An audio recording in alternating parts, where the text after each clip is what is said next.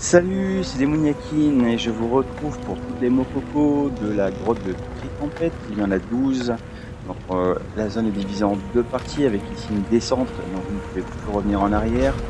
Donc, il y en a une ici, une ici, deux là et une là pour la première partie. Vous en avez trois ici, deux là, une ici, une ici pour la deuxième partie.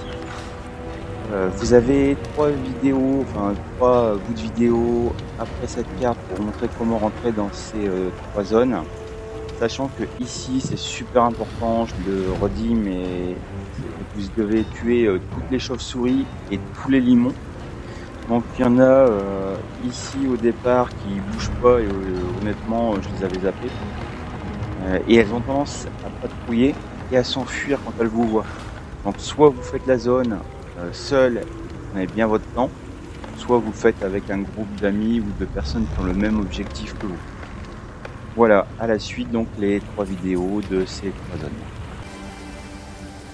Pour trouver les deux mokoko cachés ici, il faut avancer là et ça va vous téléporter sur une zone.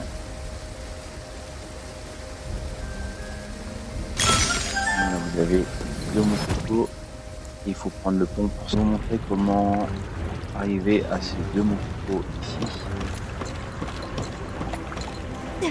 Voilà, bien se laisser là.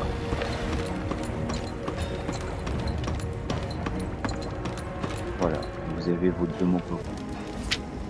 Voilà, et pour les trois dernières Mokoko, en fait ici il y a tout un tas de pièces d'or et de coffres.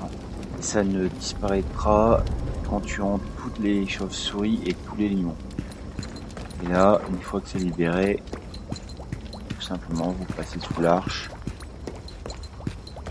et puis vous avez vos trois mocos.